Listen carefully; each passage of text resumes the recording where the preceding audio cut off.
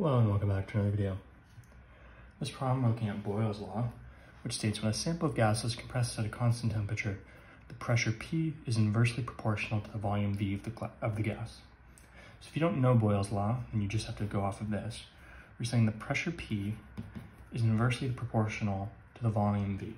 So now look at something like this. This is an inverse proportion. However, we don't know that it's going to be a one-to-one, -one, right? So we have to put this as some constant k.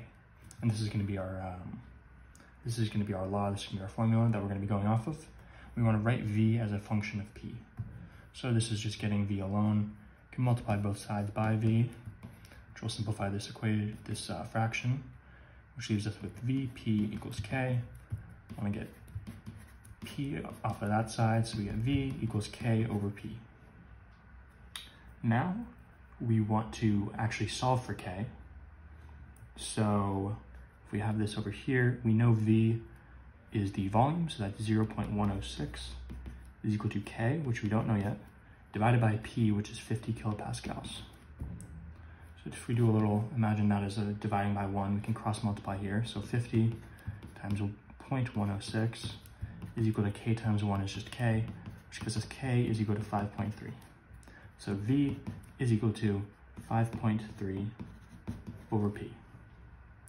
So this is V as a function of P, and we want to calculate the derivative.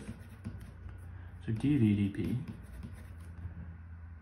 is not super clear based off of our power laws, unless we think of this as P to the 1, and therefore if we want to bring it to the numerator, we multiply the exponent by negative 1, so this is 5.3 P to the negative 1. So now this is something we can more easily find the derivative of. We take the coefficient, 5.3, multiplied by the exponent, negative 1, with a new exponent, is the old one, the minus 1. Just taking a look at this, this is going to be 5.3 times the negative 1 is negative 5.3. p to the negative 1 minus 1 is p to the negative 2.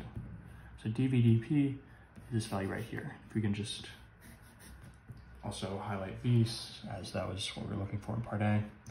What is the meaning of the derivative? Well, this is going to be the rate of change of the volume over um, the change in the pressure. So this is how much the volume is going to change per unit change in the pressure. And what are its units? Well, it's going to be volume over the uh, pressure. So whatever that's going to be, we have for the volume, we're doing that in terms of meters cubed, and the pressure is in terms of kilopascals. But anyways, that's gonna be it for this video. Thank you as always for liking and subscribing, and I'll see you in the next video.